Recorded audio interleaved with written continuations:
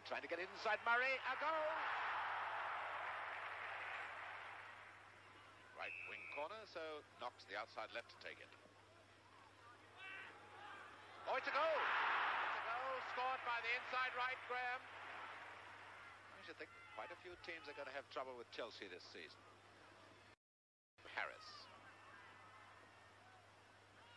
Here's McCreadie up there again with the attack now. This could be dangerous. And it's the third goal. Ken Shellito laughing all over his face.